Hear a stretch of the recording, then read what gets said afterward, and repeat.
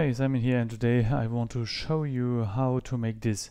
Uh, notice this is a particle system in the scene, that's not the Niagara editor, and this is the sequencer timeline, and I'm able to scrub. Um, and this is not a default behavior. Thanks to Andreas Glad from the Real-Time VFX channel, he told me that, uh, yeah, uh, how to do that. Um, because it's not very intuitive. So let me delete this here. Um, so our setup is this test system and I have just a standard fountain thing. This is the default behavior.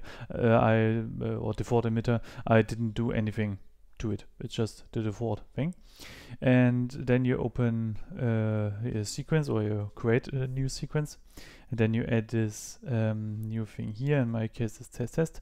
And then you add the uh, Niagara component and uh, Niagara system life cycle track.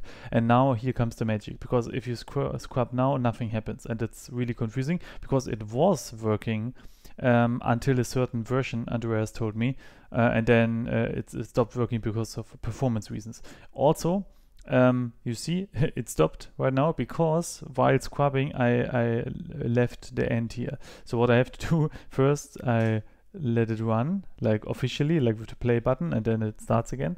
So right click in properties you set age update mode to desired age this makes that you can scrub through. So now this is really really nice. Still if I leave this area here it doesn't start again. Okay? Oh actually now it did but doesn't do it anyway anyway.